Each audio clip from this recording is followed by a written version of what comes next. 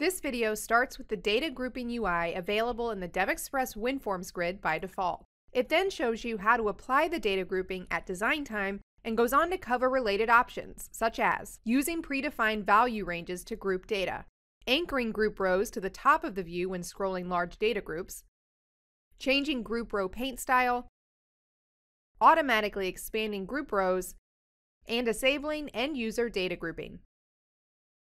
Finally, the video will guide you through the basic API you can use to group data in code. To group data by a particular column, end users can drag a header from the column header panel onto the group panel. The grid control automatically sorts data groups in ascending order. To reverse the sort order, click the column header. To expand a group row and thus access its child data rows, double-click anywhere on the group row or click the row's Expand button.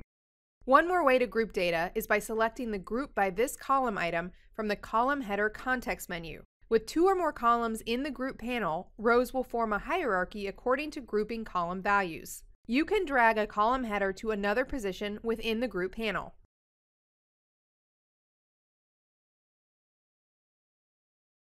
To ungroup data, drag a column header from the group panel to the column header panel or right-click a column header and select Ungroup from the context menu. To remove all grouping, right-click the group panel and select Clear Grouping. At design time, you can use the same drag and drop operations and context menus. Besides that, you can use a column's group index property. Set this property to a non-negative integer value which specifies the grouping level. Let's set it to 0 for the received column and to 1 for the read column. As a result, the received column is at the root grouping level, the read column is at the second level.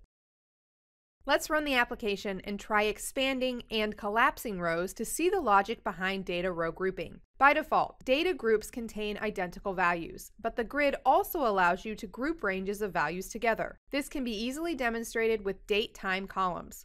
Open the Properties grid displaying the received column settings and set the Group Interval property to Date Range.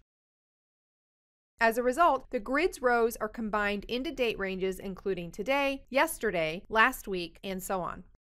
Now let's review the options that affect the grid's behavior regarding data grouping. By default, grouping column values are only displayed within group rows, and the columns are not shown within the view. If you need to display them, expand the grid view's Options View property and enable the Show Grouped Columns option.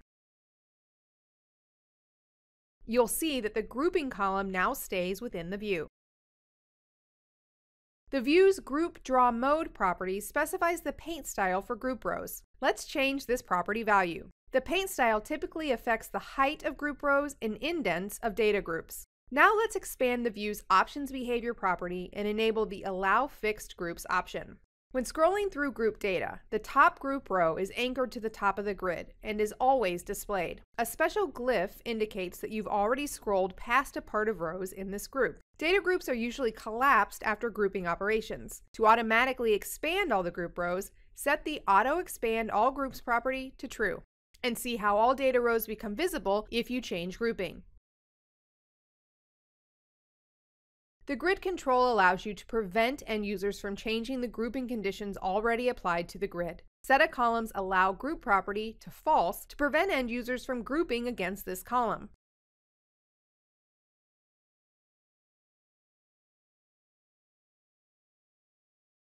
To do the same for all columns within a view, disable the view's allow group property.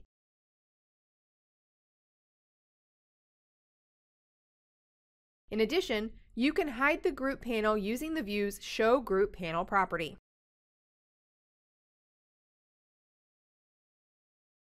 Now let's see how to group grid data in code. Note that this works regardless of the view's allow group and the column's allow group options. I already have the group data button here in my ribbon. Let's group data by the received and read columns in the button's click event handler. First, obtain the corresponding two grid column objects.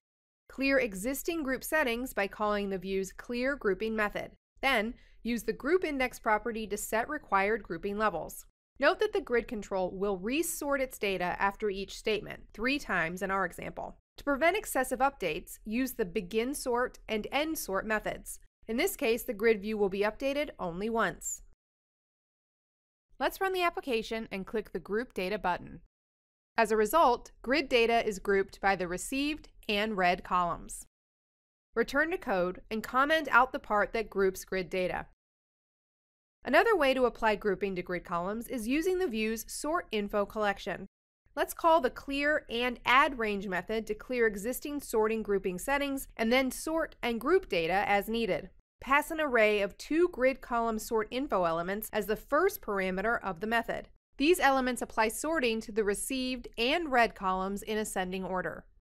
Pass 2 as a second parameter, thus indicating that data grouping, not sorting, needs to be applied. The method updates the view only once, so you don't need to use the begin sort and end sort methods. Now, run the application again and click the Group Data button.